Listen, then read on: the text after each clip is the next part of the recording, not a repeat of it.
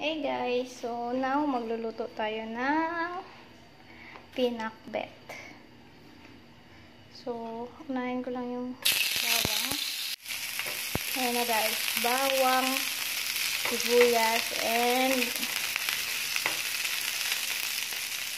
luya. and syempre, merong konting sige haba. Ayan. Syempre, nag-slice din ako ng pork and ito yung way ko kung paano magluto. So, kanya-kanya po kasi tayo ng way. Depende po sa inyo kung ano po yung way nyo. Basta ito yung way ko.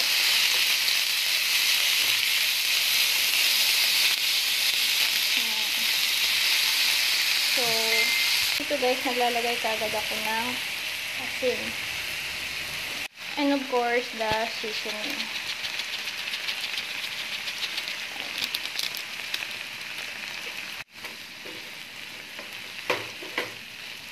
Siyempre, nilagyan ko na rin siya ng durog na paminta and laurel.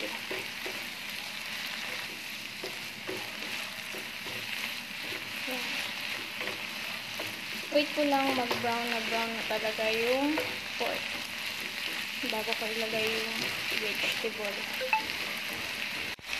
Ayan na siya, medyo brown na. And, syempre, nalalagyan ko din na ng konting toyo. Ayan, para mag linamnom.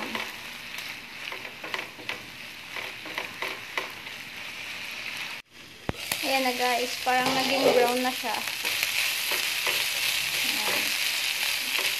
So now, ilalagay ko na po yung vegetable.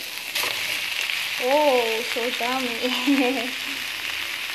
Ayan. So, ayan. Antayin ko lang itong maluto. Ito po yung pinakbet ko. Ayan na siya guys. So, nilagyan ko din siya ng konting oyster sauce. Hmm? So, ayan siya mga katropa. And tatakpan natin. Para maya-maya lamang. Antayin natin na maluto. And then, ready to serve na siya. Maya-maya lamang. Ayan.